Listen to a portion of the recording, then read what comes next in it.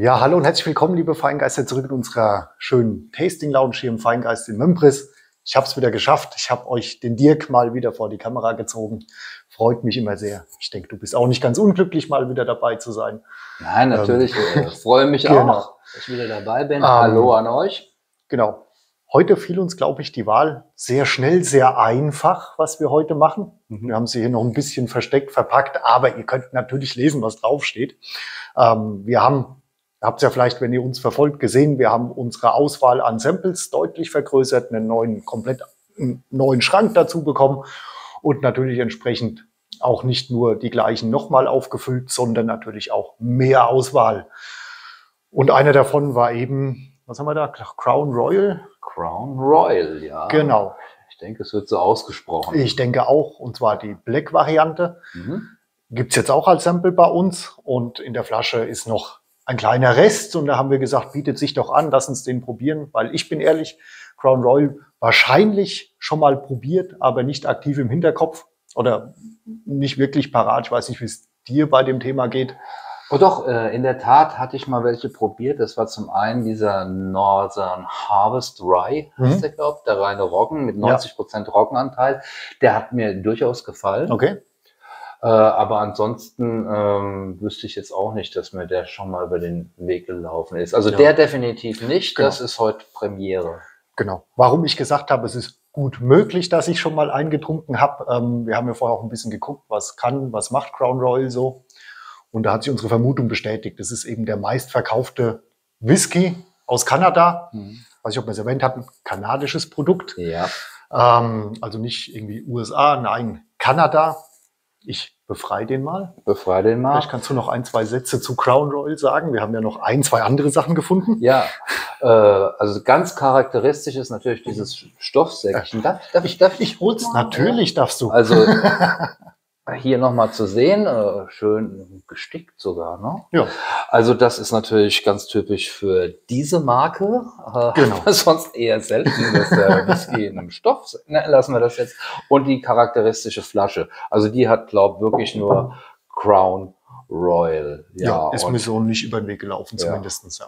Und ist natürlich eine Marke mit Geschichte, wie Daniel schon gesagt hat, in Kanada sehr, sehr populär. Ja und wurde, glaube ich, das erste Mal hergestellt 1939. Anlass war der Besuch des englischen, britischen Königspaares. Genau, ich versuche das jetzt ein bisschen ehrlich aufzuteilen.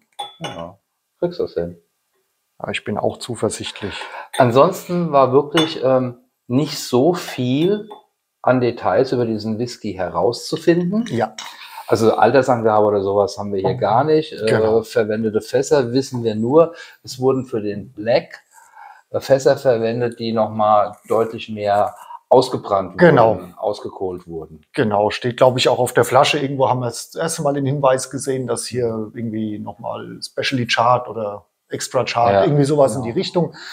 Ähm, wir haben natürlich auch versucht, da noch mehr rauszufinden, aber kriegt man jetzt nicht wirklich mehr Infos. Inwieweit äh, leider gar nichts. Aber das ist eben, wie du schon gesagt hast, beim Black die Besonderheit. Ja. Ähm, es ist ein Blend, ein kanadischer mhm. Blend. Ähm, und was wir da noch ausgefunden haben, verwendet worden sind im Grunde drei Teile oder aus drei Teilen setzt er sich zusammen. Wir haben hier einen Bourbon Style, ist wichtig, weil ich vermute, dass das auch in Kanada produziert wurde. Also Bourbon wird schwierig, das so Aha. zu nennen. Bourbon Style ich vermute, hattest du ja auch vorhin schon gesagt, ja, ein Weißanteil wahrscheinlich. Ja, genau. ähm, dann eben ein Rye-Anteil, mhm. auch gleich, ich meine, haben sie ja auch im Programm die, die Rye-Geschichten. Und dann war etwas vage formuliert ähm, zum Abrunden und Ergänzen milde Whiskys. Ja. Das kann jetzt sehr viel sein. Was immer das sein mag, genau. das haben wir uns auch gedacht. Genau. Das, ähm, ja, wollen wir mal schauen, was bei dem Blend rausgekommen genau. ist. Eins vielleicht noch, er ist mit einer etwas höheren Trinkstärke ausgestattet, ja. zwar mit 45 Prozent Volumen abgefüllt. Genau. Ich habe auch mal geguckt zum Thema Filtration oder so, habe ich nee, nichts, nichts, gefunden, nee. also gar nichts gefunden. Weiß nicht, ob von der Farbe her. Ja. Ja, weiß ich auch nicht so ganz der Flasche steht auf jeden Fall mal nichts zum Thema Farbstoff. ja. Gut, das ist jetzt wirklich hier Ratespielchen. Ja. Also es, es sieht hübsch aus. Also der Mhm. hat so eine, so ein, was ist denn das? Das ist schon ein bisschen Kupfer, Bernstein, Ja, tiefe Kupfer ist Bronze. drin. Ja, Also das dunkel ist auf schon, jeden Fall. Schon schön dunkle Farbe. Auf der Ja, anderen Seite, wenn die wirklich nochmal ein Fass ganz, ganz frisch ausgetoastet haben, also aus, ausgebrannt haben und verwendet, kommt natürlich dunkle Farbe mit ins Spiel. Ja. Aber ja, Ja gut, ich weiß jetzt auch nicht genau, wie die Kanadier das machen. Also in den USA wird ja nicht gefärbt. Ne? nee, in den USA wird Da- nicht da- gefärbt. da das Kanada weiß ich es auch nicht. Nee, wüsste ich jetzt auch nicht. Ja, auf jeden Fall Farbe ist schon mal schön. Ja. Und ich muss auch sagen, er scheint zumindest von der Optik her ein bisschen ölig zu sein. Mhm. Er zieht ein bisschen Schlieren im Glas.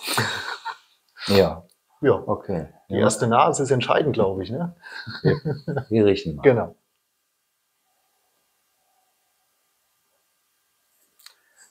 Gut, er hat jetzt hier für mich schon viel, was auch ein Bourbon erstmal mitbringen würde.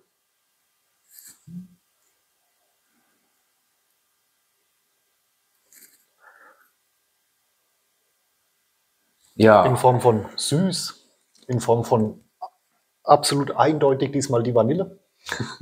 da ist sie wieder. genau. Unsere Vanille. Wir haben sie gefunden. Juhu. Nein, aber viel mehr äh, kann ich da auch jetzt nicht identifizieren. Ja, eine leichte Süße, ein Hauch Würze, aber ich würde Ja, jetzt auch nicht nicht sagen, dass viel. da viel, viel Nee. Holz dabei ist. Ja.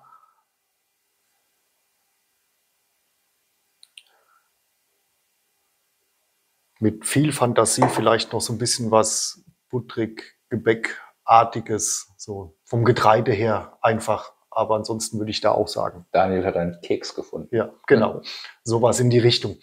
Aber Ja. ansonsten würde ich auch sagen, aber nicht negativ. Also für mich nicht. Ich finde es eher ganz im Gegenteil sehr positiv. Ein sehr angenehmes, rundes Ding, ähm, was man ja leider auch oftmals sowas danach sagt, wo ich schon oft über Bourbon und Konsorten und Bourbon ähnliche gehört habe, oh, riecht ein bisschen nach Klebstoff, habe ich gar nicht. Nee, gar nicht. Ja, also null. Nee. Ähm, Möchte ich dir zustimmen? Äh, also wie gesagt, das ist äh, jetzt nicht so viel, was man dann rausriechen kann, aber es Ja. ist absolut angenehm. ja. Ja. Und nicht irgendwie zurückhaltend dünn im Hintergrund, sondern präsent und da. Ja. Also er ist jetzt auch kein Zurückhaltender in der Nase, sag ich mal. nee. Wir einigen uns auf ein einfacher und angenehm. Ja, einfach, angenehm. Das Ja. trifft es, glaube ich, ganz gut. Okay. Und Wenn, rund. rund. Ja, und wenn, wie du gesagt hast, so ein bisschen die Bourbon-Richtung. Ja. Okay. Genau. Also mehr Nee, mehr. rausriechen. Wird schwierig. Ja. Ja, würde Okay. ich sagen, ne? zum Wohl. Zum Wohl, ja. Euch auch. Wir probieren mal.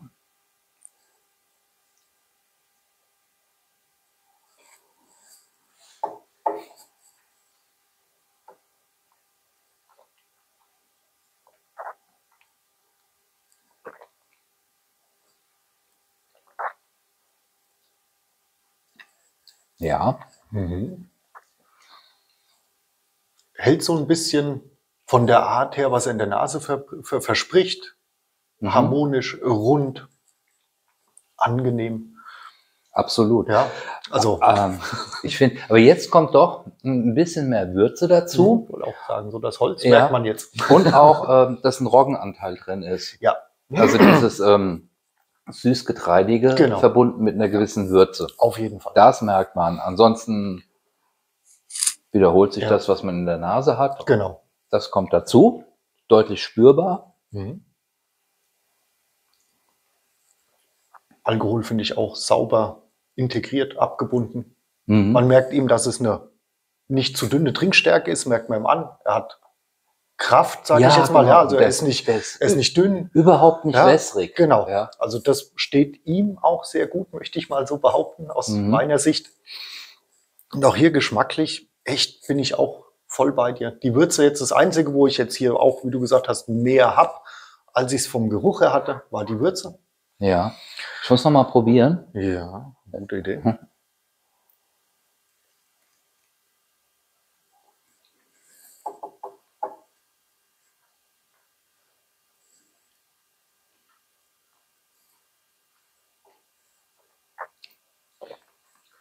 Ja, und hat auch für mich eine super schöne, angenehme cremige Textur auf der Zunge. Gefällt mir sehr gut. Mhm. Also weißt du was, lieber Ja. Daniel? Der gefällt mir. Ja, mir auch. Ich finde ich find ihn gut. Also das ist, ähm, und das erinnert mich jetzt, also diese Ja. ähm, Verbindung habe ich zu dem Rye. Mhm. Da, da passieren jetzt auch nicht äh, so viele Sachen Nö. geschmacklich, Ja. ja. dass das jetzt ein Mörderkomplex Mhm. wäre und da noch eine Frucht reinschiebt Ja. oder so. Aber das, was er machen will, macht er Macht richtig gut. Macht der richtig gut, ja. Ja. Und was mir gefällt, weil ich mag das sehr gerne, jetzt im Abgang habe ich so ein bisschen Bitterstoffe noch übrig vom Holz, so ein bisschen. Bitzelt bisschen. Es ne? auch ein Ja. bisschen, finde ich ganz schön. Aber das Ganze, jetzt keine Angst haben, wenn ihr sagt, oh, ist nicht meins, es ist nicht extrem, es ist nicht viel, es ist nicht oben drüber. Mhm. Ja, Es ja, ist genau. einfach da und das mag ich sehr, sehr gerne, zusammen mit der Würze, die wir jetzt doch noch haben. Ja. Ähm, ja, ansonsten süß. Also das ist so echt so auch so ein, so ein easy, easy going, angenehmer Trinkwhisky einfach. Richtig, Ja. aber, aber ohne, dass er jetzt äh, irgendwie langweilig wäre Nee. oder so, Gar nicht. muss ich halt drauf einlassen. Ja, das ist das, was er Ja. macht. Das macht er sehr gut. Auf jeden Fall. Da habe ich jetzt für mich doch auch wieder was entdeckt. Ja, Gefällt also mir echt gut. Also, das ist so einer, da sage ich nicht nein. mhm. Auf keinen Fall. Ja, nee, ist auch mal was anderes. Also ähm, und in der Tat hat er was Eigenes. Also das ist jetzt nicht äh, wie, wie ein Bourbon eins zu eins, Nee. absolut nicht. Es ist auch nicht wie ein Rye, nee, sondern er hat schon so beide Elemente, verbindet die. auf jeden Fall. Also von daher vom, vom Whisky her durchaus Ja. interessant, auch wenn er Absolut. in sich jetzt nicht allzu komplex und vielschichtig ist. Nee, muss ja auch nicht. Will ich ja. Ja. auch nicht jeden Tag haben. Ich will ja auch nicht Genau. jedes Mal, wenn ich einen Whisky trinke, So den, den, genau, den kompliziertesten Whisky aller Zeiten im Glas haben. Ja. Ähm, da sind wir auch bei einem schönen Punkt eigentlich angekommen, weil ich sag mal, meistverkaufter Whisky aus Kanada. Ich bin mir sicher, ihr kennt oder viele von euch kennen die Sachen auch, habt vielleicht auch schon mal einen probiert. Was denkt und haltet ihr denn davon? Also ich finde ihn wirklich gut. Also hat Mhm. mich auch sehr überrascht. Ähm, bin jetzt nicht so der größte Bourbon-Style Rye Whisky-Trinker überhaupt. Aber der hat mich überrascht, weil genau wie du gesagt hast, auf den Punkt, er macht was Eigenes und das, was er macht, macht er gut. Er versucht nichts zu sein, was er nicht ist. Es, ja, also es ist stimmig, es ist rund, es ist angenehm für mich. Gut gemachter Canadian Blend. Ja, auf jeden Fall. Ja. Wie immer, Links, Informationen zur Flasche, zu den Samples, die wir jetzt haben, kriegt ihr von uns unter das Video. Und dann würde ich sagen, wir sehen uns bestimmt bald wieder in einem neuen Whisky, äh, in einem neuen Whisky-Video, so rum wollte ich Mhm. sagen. Ähm, dann bis zum nächsten Mal. Ja, und probiert ihn ruhig mal. Und wenn euch was dazu einfällt, schreibt es uns einfach in die Kommentare. Wir freuen uns. Gute Zeit und bis bald. Ciao, ciao.